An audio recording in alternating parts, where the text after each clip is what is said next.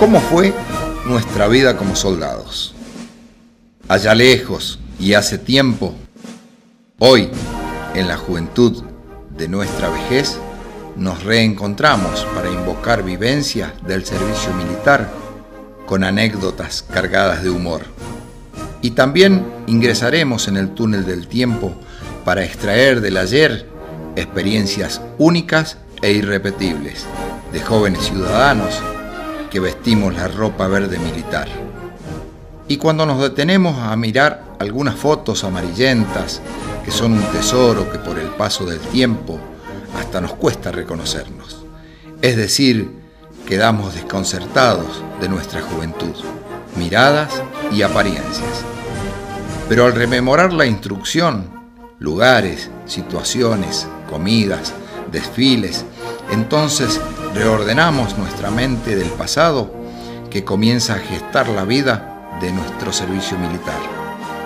Por todo ello, hoy nos denominamos soldados veteranos por elección propia o ex soldados románticos, enamorados de nuestra patria con los valores de San Martín. También este recordatorio está dedicado para aquellos suboficiales y oficiales que nos crearon un ámbito de escolarización férrea militar, pero con decoro y dignidad humana, y merecen nombrarlos y entregarle las loas de reconocimiento.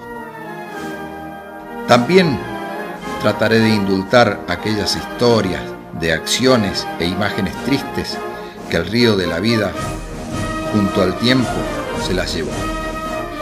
¿Recuerdan cuando éramos un enorme grupo de desconocidos el día de la incorporación? Una larga fila en columna de cuatro alrededor de la plaza de armas. Nos mirábamos con recelo, algo nos hablábamos, pero pensábamos, ¿qué estoy haciendo acá? Nos tuvieron largas horas en esos nuevos y extraños lugares. Realmente éramos forasteros. Aquellos desconocidos, después de unos días de zarandeo, trajín y fajina, nos convertimos en muchos casos en los más nobles y puros hermanos de la vida. Muestra de ello es que hoy, acariciando la ancianidad, decimos que nos une la añoranza, haber sido soldaditos de 18 años, que con solo cerrar los ojos nos damos cuenta que han caído muchas hojas de aquel almanaque de vida, de aquella aventura de ser un simple ciudadano a recibir el diploma de soldado de la patria.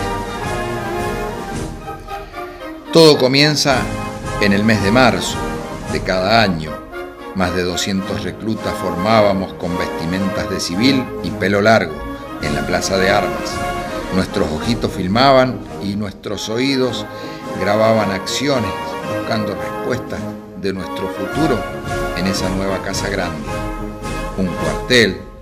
Un regimiento militar o una compañía, según sea el caso. Y aparecieron concretas disposiciones de la milicia, nos movilizaron a la peluquería.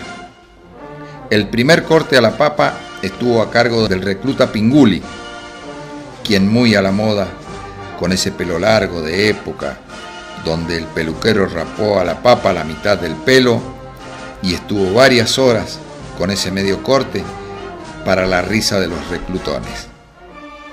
Otro viejo soldado raso recordó aquel primer almuerzo.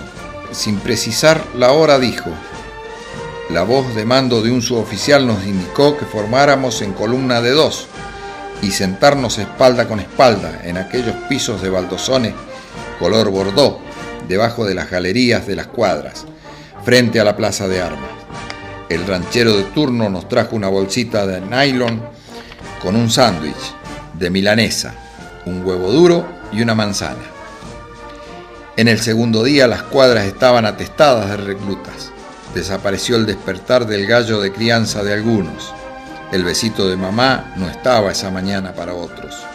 Era un amanecer distinto, aquel nuevo día de incorporados. Es ahí que adoptamos el nuevo nombre del despertar del soldado, Diana, que muchos creíamos que un trompa ejecutaba la trompeta y no fue así. Fueron los bramidos que más que gritos eran alaridos de indios ranqueles, del recio y riguroso suboficial de semana que indicaba al pie de la cama, con elemento de higiene y trotar al baño. Con el mismo ritmo enérgico, llegábamos en formación a la plaza de armas y frente al mástil. Sin ánimo de equivocarme digo, aquella primera mañana de incorporado, mientras entonábamos Aurora y veíamos izar nuestro pabellón nacional, ahí, en ese momento, descubrimos el nacimiento de un patriota en nuestros corazones. Una vez más, las coordinaciones de mando indicaban formar fila frente al depósito de intendencia para recibir la ropa de faquina con talles a medida. Sí, te toque lo que te toque, recordaba un ex soldado. El calzoncillo de invierno parecía un paracaídas. Se podía meter los dos pies en una sola pierna. ¿Qué número calzás, milico? preguntó el suncho. Número 41, contestó el recluta. Y como un rayo del cielo, un par de borceguíes se estrellaron en el pecho del soldadito. Estos te van a andar bien. ¡Carrera mar! Ah, ponele una media de relleno, dijo el suboficial, y eran talle 45 o 46. De a poco estaban las transformaciones. Ya teníamos el pelo corto, la ropa de fajina y nos mandaron a formar en columna de uno debajo de la galería de la cuadra. Nos ponían en línea y el de atrás te masajeaba la espalda. Y pensábamos que era un juego y nos preguntábamos, ¿qué vendrá ahora?